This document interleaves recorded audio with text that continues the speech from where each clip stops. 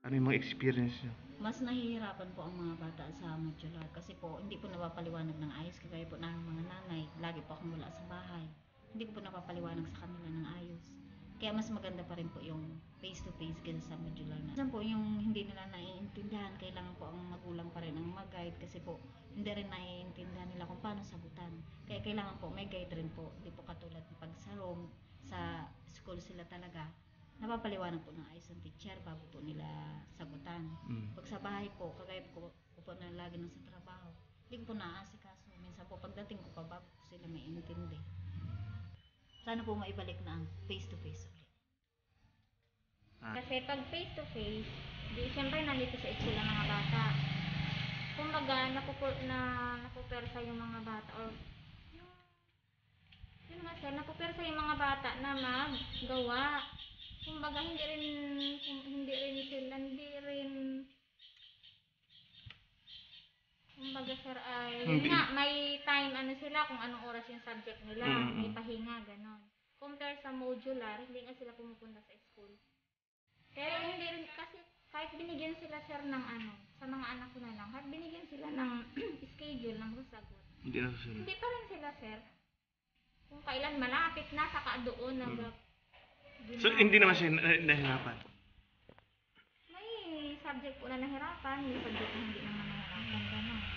Na? Sana ibalik na sa school. Yun nga lang.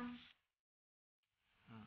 Pero kahit ganun sir, siyempre, iniisip, iniisip ko rin yung kaligtasan siyempre ng mga anak ko. Mm. Malaki talaga ang pagkakaiba nila. Bakit po? Medyo talagang mahirap. Bakit mahirap? Yun nga, yung iba hindi hindi kagaya pag face to face na ah, napapaliwanag ng mabuti sa mga bata talaga yung lesson nila. Mm. Eh, sa bahay talagang kagaya ko, medyo medyo mahina din pa nahirapan akong explain sa kanila. Kaya mahirap talaga. Sana maayos na para mabalik na yung face to face na klase. Yun, para maayos na rin. Ako, masakit sir ang ulo. Bakit? Nahirapan po sa pagsagot. Mm. Sana ay ano, ipabalikin lang po sila yung normal, yung dati, Mm. na face to face. Bakit po? Para, para matuto talaga po yung ano, estudyante. Mm. Kumusta naman ho yung ano? Yung...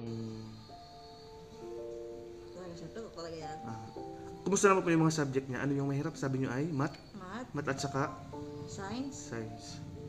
science. Kasi may mga numbers. So, ibig sabihin hindi siya masyado ano sa numbers. Aha, science. Maganda sir ang face to face dahil na, eh, naiitanong nila sa teacher. Ay pagkagaya kong atanungan, nahirapan pa rin ako na sumagot. Kaya lang, inapilit ko rin na maturuan ng mga anak ko eh. May, may ibalik na yung face to face na pag-aaral ng mga bata para mas maganda baga sir. Dahil, Nakakatuto ng maayos ang mga bata. Sir ha, wala kaming cellphone na inagamit para yung mga inasabi ng mga bata na ina-search-search na yan. Paano namin sir malalaman yun? gusto, Sa sino man pong gustong magbigay ng react, sir? Mag-donate po ng cellphone sa mga anak ko para po magamit sa pag-aaral at na makatu- matulungan po ang aking mga anak. Ay tatanggapin ko po ng maluwag sa aking aking mga kamay. At magpapasalamat pa na po ako kahit wala pa po sa gustong magbigay sa amin. ay ano po siya, yung habang siya gumagawa, eh parang sa ibang magilpira po siya. Hindi siya masyadong, pero yung iba alam niya, pero yung iba ay parang nahihirapan siya. bakit po kayo nahirapan? Parang pag minsan no, hindi niya ho baga makakuha yung yung ano paliwanag mo sa dito, sa So- papel. Ano pong ginagawa niyo pag, ano, pag ganun? Ay minsan ay nagpapaturo siya dun sa atin niya. Adi yung pag nagpaturo siya atin niya, di na ano rin ng atin niya, natuturuan. Kasi paano ako, may naturuan din ako eh, yung grade 6 ko at saka yung dalawang grade 1 na isang apo ko at saka isang Ba't ilan po ang inyong anak? ang anak ko ay isang dalawang grade 6 na kambal. Tapos isang yung grade 1 ho na yung isang apo ko at saka isang pamangkin ko ako rin ang nagaturo. Grade 1. Kaya ito si Hat, minsan siyang gumagawa, minsan pag hindi niya ano, kay ate na siya nagapunta. Pag, hindi- pag hindi kaya? Oo, kay ate Mara niya. Yung mga English minsan sir, hindi kasi maano sa English. Ah, hindi Ay, masyadong... nagpapaturo siya kung ano ibig sabihin, inapa-translate niya sa Tagalog. Kaya mahirap. nandun po yung banding ng pamilya, yung malalaman mo kung ano yung ugali talaga ng anak mo kasi araw-araw mo silang nakakasama. Hindi yung may panahon na gabi mo lang sila halos nakakasama dahil araw-araw sila sa school. Magandang ano, maganda rin yung epekto ng COVID dahil nasa sa mga sa mga naranasan namin eh minsan may kalungkutan, minsan masaya yun po experience po bilang ah, nag-guide para magturo kay Janet. Ang hirap po. Kasi po, imbis na yung time po na nandito sila sa school, sana nag-aaral, nagtatrabaho yung magulang. Eh, wala po kasing magulang. Eh, ako po yung nag-guide. Ti- As tita po. Magtuturo ka, may gagawin ka, may tindahan kami. So, ang hirap po ipagsabay yung pagtuturo. Tigil na lang muna yung pag-aaral Ah, ngayong taon. bakit? Bakit? Kasi po, parang useless din po, parang wala din pong matututunan yung mga estudyante. Luwan kasi pag napag-aralan na sa classroom, okay lang, mas madali na sa bahay. Pero ngayon naman sir, hindi na rin siya na, nung first talaga, first, second, third week, nahihirapan talaga siya. Pero ngayon ay okay na kasi medyo maalwan na yung module ngayon, di ba? May, may discussion na eh, kaya mas maalwan siyang sagutan. Tapos pag hindi naman niya kabisado, nag-google. Tapos may kapatid ako doon na kasama niya, doon siya nakatira kay tita niya sa gabi, siya natutulog doon. Siyempre, pag sa bahay, pag ano, mama, tanong na tanong ang bata eh, ma, patulong naman dito. Siyempre, may gawa ka, marami ka rin kayang ginagawa. Naaabala rin ang magulang dahil pag dapat katulad ngayon, naglalaba ako, tina, tinigil ko yung labahin ko, kumuha lang ng module. Kasi may elementary pa ako. Ayos lang rin sir eh. Okay. Dahil na nasasagot niya rin. Nasasagot niya. Oo. Hindi naman siya nahihirapan. Hindi man siya sir. May gatanong pa nga sa kanya. Bakit daw nas kung nasagutan niya yung math na yon. gusto ko, ayaw gusto yung pasok ng mga bata maganda yung sa school sila napasok Pero maalwa naman po kasi walang baon. Oo, walang baon. Miski ko naman sa bahay sila, may mga pira nila binibigay ang nanay niya sa kanila eh, na pambaon nila, ng panggastos nila sa bahay eh. Ah, ibalik na yung oras na yung ano na yan, sakit na ganyang COVID na yan, para yung mga bata yung balik, sa balik na sa pag-aaral, sa face to face na, para maalo naman sila. bakit ikaw nagdala niya? Balik na si mama mo. May trabaho. Trabaho saan? Sa ano oh, tubigan.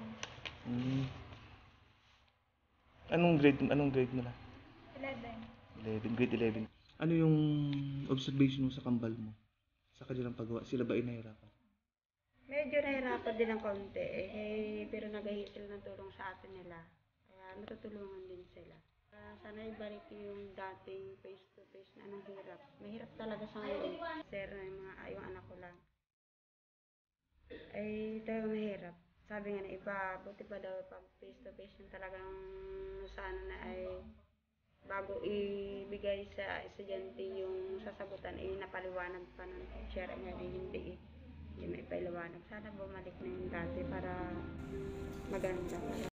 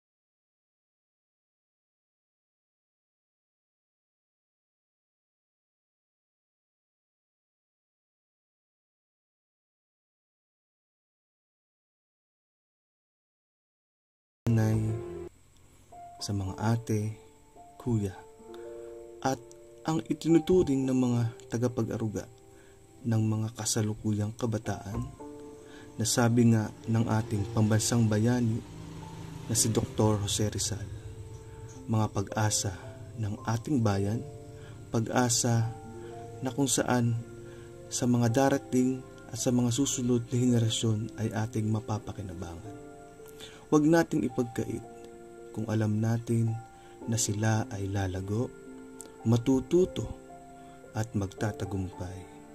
Kaya, sama-sama nating itaguyod ang kanilang edukasyon. Sama-sama tayong ipaglaban hanggang matapos ang unos na ito. Gawin ang lahat ng kaya para sa kanila. Tuloy lang, kaya na.